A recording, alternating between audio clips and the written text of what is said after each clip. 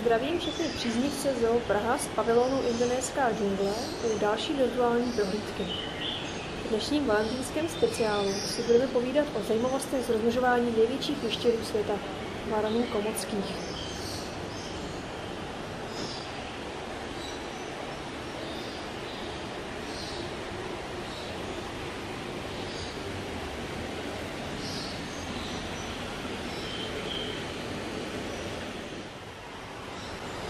Určitě je nejprve záhodno představit si, jak chov varanů komockých v Zoo Praha započal. Zakladateli chovu byl pár Aranka a Draco, které jsme získali jako dar indonéské vlády v roce 2004. V následujících letech se zoo vypracovalo na pozici světové velmoci v chovu varanů komockých a je nutno říci, že se opravdu nejedná o druh, jehož rozmnožování by bylo zcela běžné.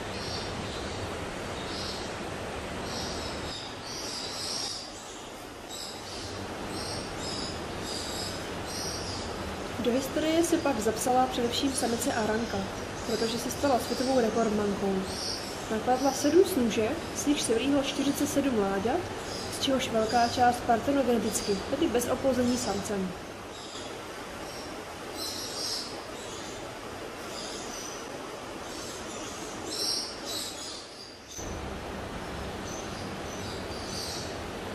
Potvrzení toho, že chov varnů komockých je u nás opravdu na špičkové úrovni, dokazuje to, že se u nás v zoologické zahradě rozmnožila již i mláďata, jejichž matkou byla aranka. Tudíž zde máme druhou množící se generaci varanů komockých.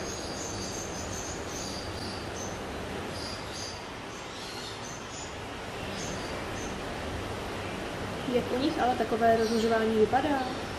Ačkoliv jsou samice schopné rozmnožit se partenogeneticky bez přičinění samce, jejich přítomnost většinou aktivně vyhledávají a samce k páření broukují. Ten jim poté svou dominanci dokazuje přejížděním drápy po zádech. Samice si jako otce svých budoucích potomků vybírá nejsilnějšího jedince. Musí jí proto přesvědčit, že je to právě on.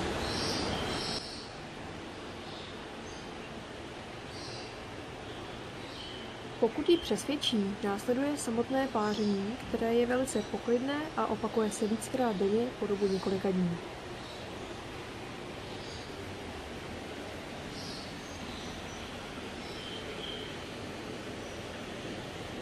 Riziková je až chvíle, kdy samice zabřezne a již v páření pokračovat nechce. To však samec nepozná a tak si pokračování vynucuje, což končívá šarvátkou.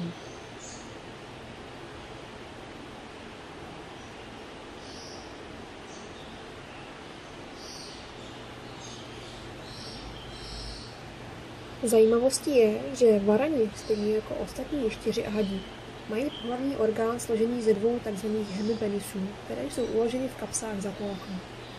Při páření však samec používá pouze jeden, a to ten, který je blíže k samici.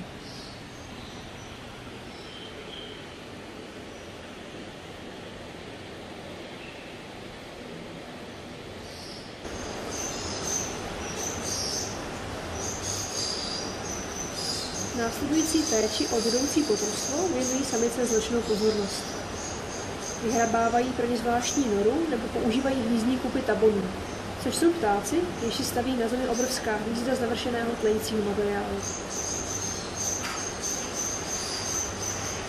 Samice se však nespokojí jen s výběrem hodného místa pro noru, ale navíc vejce pečlivě ukládá těsně k sobě a zahrabává vhodným substrátem, jehož výběru a množství věnuje zvláštní pozornost.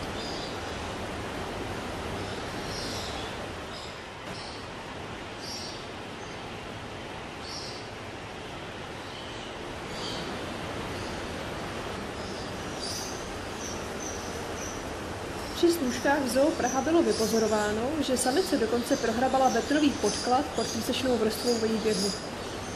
Do připravené jámy nakladla vejce, činichem je velice citlivě zatlačila pod vrstvu betonu a rovněž činichem přes ně upichovala jemný substrát. Poté nad snůžku předníma nohama nahrabala hromadu písku. Míra citlivosti, jemnosti a pečlivosti mateřského chování u tak drsného predátora překvapila i samotné chovatele.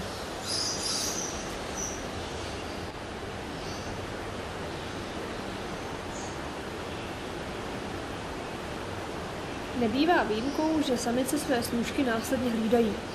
Po nějakém čase je však opouští a tím veškerá citlivost končí.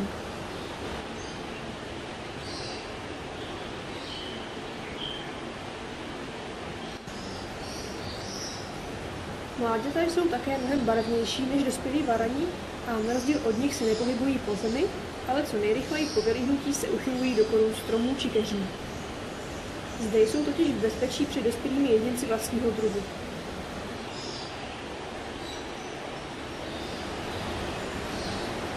Kanibalismus je u varní pomocných běžný a tak by si samice snadno mohla pochutnat na svých vlastních mláďatech. Nalezla by je v jejím dosahu.